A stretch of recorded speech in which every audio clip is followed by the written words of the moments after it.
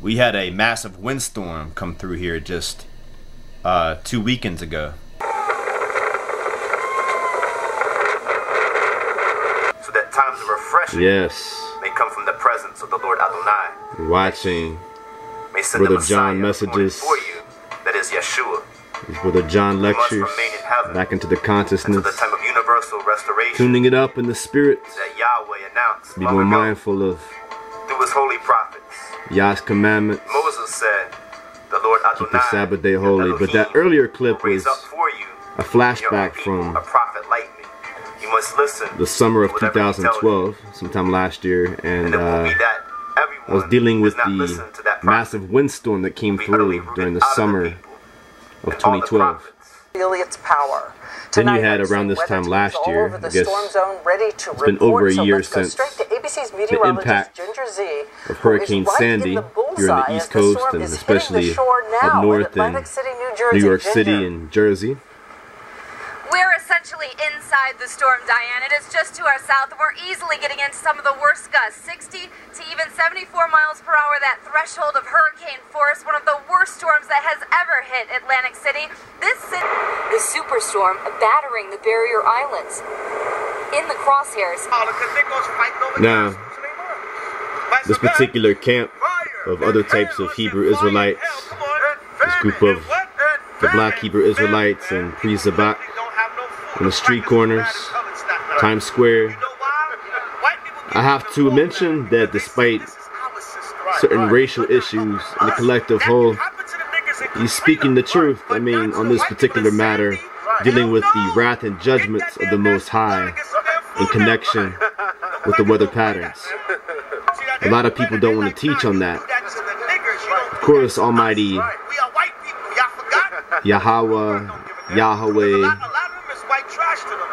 Ahaya, tomato, tomato. It has judgment upon this wicked nation, this mystery Babylon system. So it's not just HAARP Enterprises. Uh, they can't do that. They can't do that. They can alter some, you know, degrees of, uh, they can alter some degrees of weather patterns, but they can't do that. That is the Most High and His rightful judgment upon this wicked nation. And that's where I have to say that uh, Priest Sabak is right on this particular subject matter, talking about Hurricane Sandy.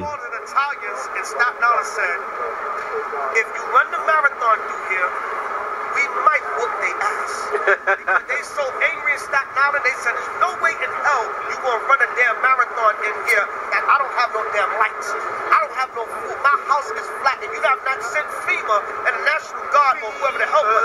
And you gonna have some runners come through here? chaos along the Jersey shore. The superstorm battering the barrier islands. In the crosshairs, Atlantic City. Is